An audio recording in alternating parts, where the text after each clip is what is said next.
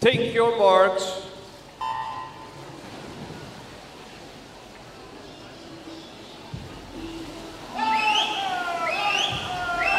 Ties Elserman te water. Hij is de Nederlandse recordhouder op deze afstand en gaat deze afstand zwemmen op de EK Glasgow. 27.02 voor mij. Swim Cup Eindhoven 2018.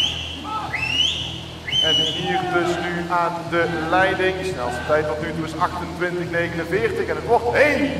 27.55. Mooie tijd hier Elserman vanmorgen.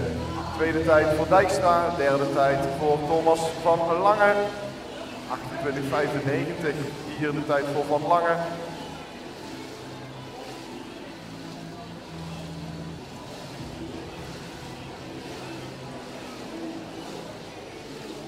En u ziet hier die officiële uitslag en meteen de acht snelste. Baars, Van Eck, Rek, Dijkstra, Waningen, Leeuw, Brandt en Elserman zien we vanavond in de finale. En zij verdienen uw applaus.